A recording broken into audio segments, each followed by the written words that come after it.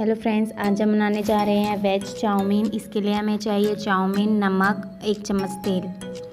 अब हम एक पतीले में पानी गर्म कर लेंगे। इसके अंदर हम एक चम्मच नमक डाल देंगे, एक चम्मच तेल डाल देंगे। इसे उबाल लेंगे अच्छे से। उबालने के बाद हम इसके अंदर चाउमीन डाल देंगे और इसे अच्छे से पकाएँगे। देखिए हमारी चाउमीन जो है वो अच्छे से पक चुकी है। फ्लेम बंद कर देंगे। अब हम अपना मसाला बना लेते हैं। इसके लिए हमें चाहिए शिमला मिर्च, गोभी, प्याज, लाल मिर्च पाउडर, नमक, अजीनोमोटो, हरी मिर्च, तेल, वेनेगर और सोया सॉस। अब हम एक कढ़ाई में तेल गरम कर लेंगे। इसके अंदर अब हम डालेंगे प्याज।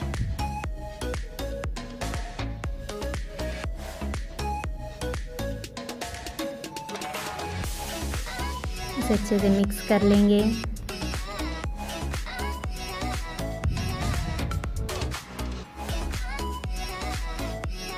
हरी मिर्च।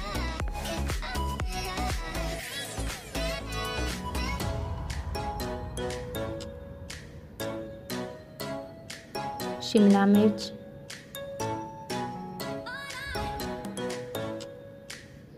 इसे अच्छे से मिक्स कर लेंगे। और गोभी भी साथ में डाल देंगे।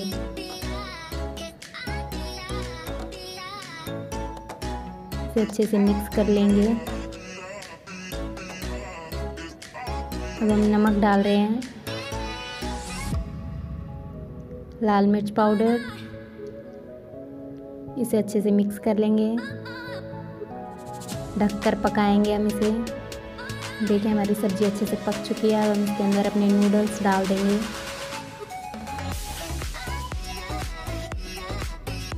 अजीनोमोटो ये मेन इंग्रेडिएंट है। वेनेगर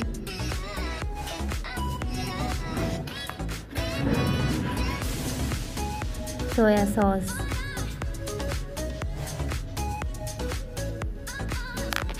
अब इसे अच्छे से मिक्स कर लेंगे। ताकि जो हमारे मसाले हैं वो पूरी चाउमीन में अच्छे से मिक्स हो जाए।